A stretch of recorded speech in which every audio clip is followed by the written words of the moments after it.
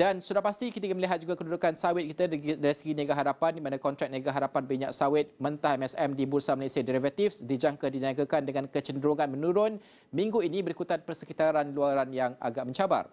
Di mana peniaga minyak sawit David Eng berkata prospek lemah itu disebabkan ketidaktentuan ekonomi global dan juga kelemahan terusan harga minyak kacang soya. Beliau menjangkakan harga akan diniagakan antara RM3,700 dan RM3,880 satu tan metrik minggu ini. Dalam pada itu, peniaga kanan minyak sawit Interbank Group of Companies Jim Teh menjangkakan niaga hadapan MSM akan didagangkan antara RM3,700 dan RM3,850 satu tan metrik.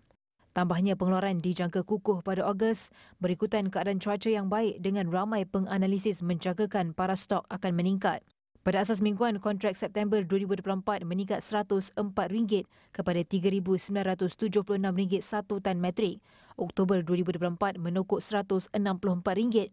November 2024 naik RM186 dan Disember 2024 menambah RM192.